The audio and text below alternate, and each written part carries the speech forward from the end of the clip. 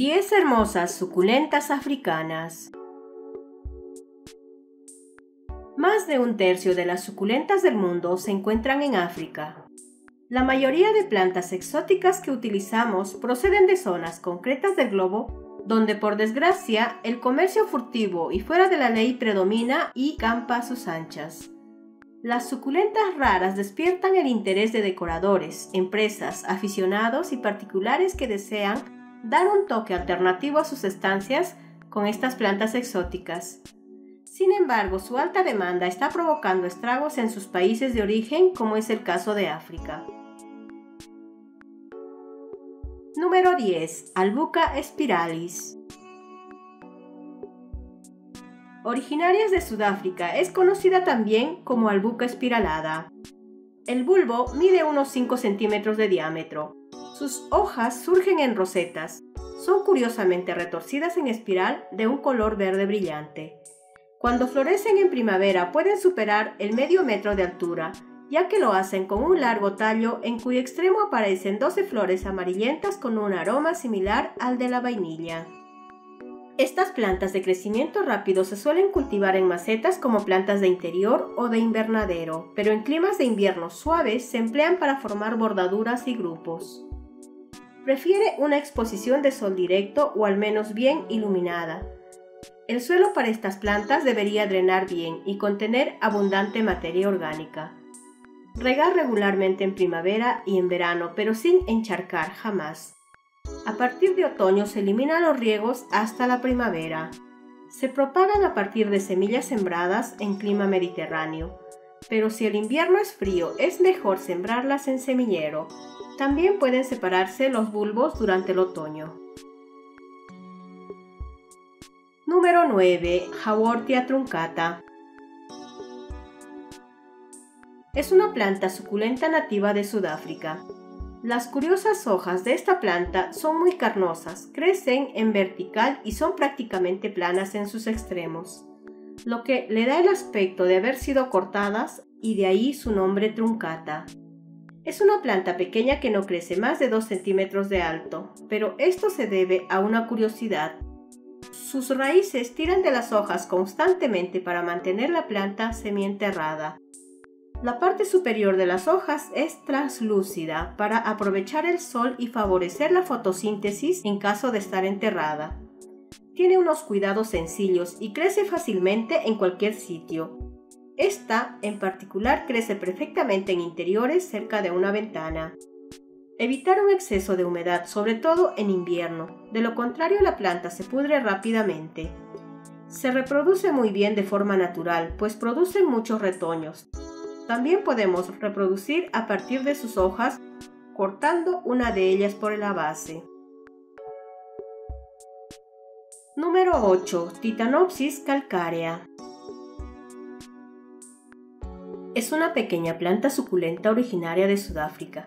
El nombre de esta planta hace referencia a su aspecto de roca caliza. Es una planta crasa que forma rosetas de pequeño porte con hojas carnosas y de aspecto rugoso.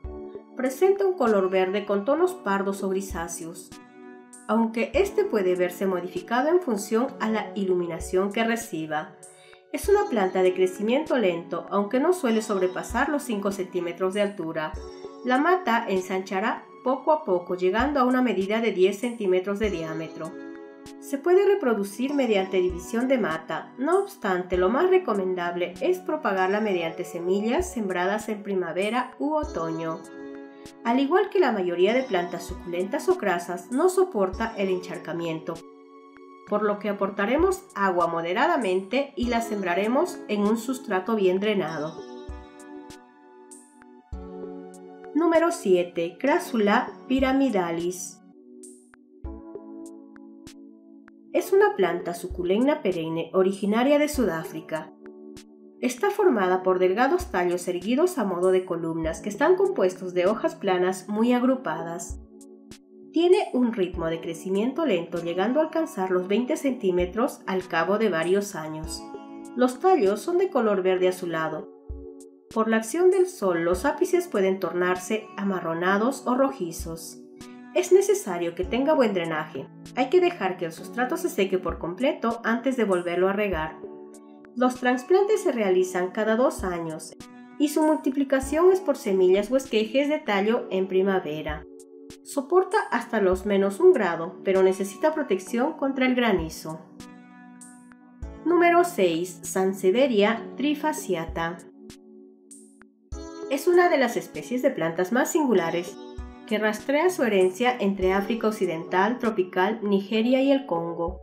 Esta planta de aspecto salvaje también se conoce como la planta de la serpiente debido a la forma de sus bordes afilados. Tiene hojas verticales, anchas y gruesas que crecen desde una roseta. Las hojas cambian de color entre verde oscuro, verde claro, blanco y crema.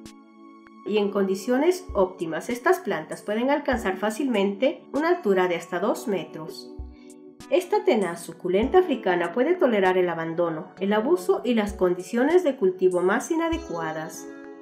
Le gusta la luz solar directa y puede durar más de 6 semanas sin agua. Número 5. Pseudoliptos cubiformis. Es originaria de Somalia, África, donde la planta crece en arena con poca agua y algo de sol. Esta planta es muy inusual para quienes no están familiarizados con el pseudoliptus y puede confundirse fácilmente con una piedra. La suculenta es solitaria y forma un pequeño tallo de hasta 12 centímetros de altura y 12 centímetros de diámetro. El tallo tiene forma de cubo, hecho de tubérculos y el color varía entre el verde claro al verde grisáceo y al marrón rojizo, dependiendo de la exposición al sol. Las raíces son fibrosas y poco profundas. La floración ocurre al final del verano. La polinización la realizan moscas atraídas por el olor a harina podrida. Esta planta es única en la naturaleza por su forma regular que parece artificial. Es de crecimiento muy lento, pero muy fácil de cultivar. Número 4. Discorea elepantipes. Es originaria de las provincias del Cabo, África, donde la planta crece en laderas rocosas en suelos secos. La planta tiene un hábito trepador y puede alcanzar hasta los 90 centímetros de diámetro y puede formar enredaderas de hasta 6 metros de largo forma un gran caudex parcialmente subterráneo, leñoso, robusto, cubierto en el exterior por una corteza gruesa de color marrón grisáceo que se agrieta profundamente en placas poligonales. Las plantas que forman el caudex utilizando su tubérculo subterráneo para almacenar el agua y hacer frente a los largos periodos de sequía. Los tallos son delgados, torcidos, largos, glabros y las vides mueren durante el verano. Las hojas son acorazonadas de color verde brillante, alternas y de pecíolo corto. La característica más atractiva de esta planta es el caudex en forma de tortuga que hace que esta planta sea única y diferente de cualquier otra planta que hayas visto. Número 3. Sansevieria cilíndrica. Es una suculenta que se encuentra naturalmente en el sur de África. Es apreciado por su fácil cuidado. Con su aspecto decorativo en forma de espiga, la Sansevieria cilíndrica es una gran elección tanto para los principiantes como para los más experimentados en el cuidado de plantas de interior. Es una planta totalmente adaptada a un entorno seco y soleado. Para cultivarla con éxito en casa hay que imitar en lo posible su hábitat natural. Puede sobrevivir en condiciones de muy poca luz, Prefiere una iluminación brillante y mucho sol. Si se mantiene en zonas oscuras, la sansevieria cilíndrica no crecerá mucho, así que elige bien su ubicación. La humedad no es tan importante para esta planta y no es necesario colocar en un lugar muy húmedo. Número 2. Liptops o cactus piedra.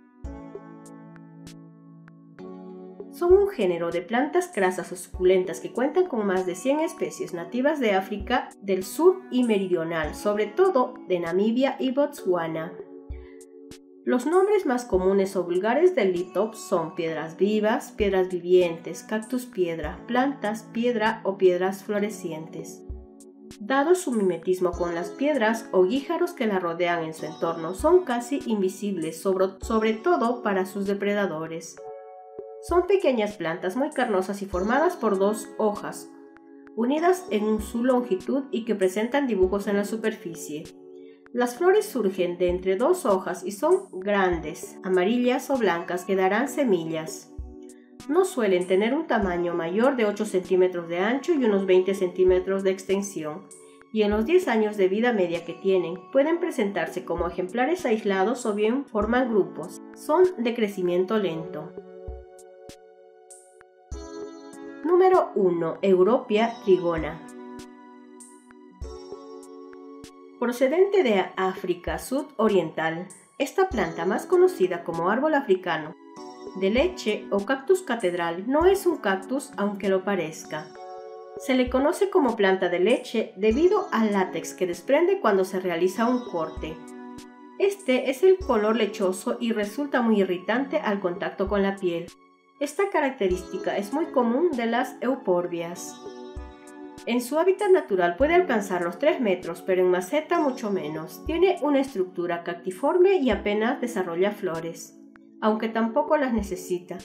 En su época de crecimiento nos regala las hojas en forma de espátulas preciosas y muy decorativas.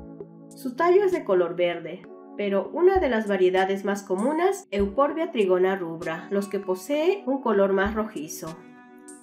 Si la planta comienza a tener manchas marrones en su estructura o a perder sus hojitas, puede deberse a que esté recibiendo mucha luz solar directa.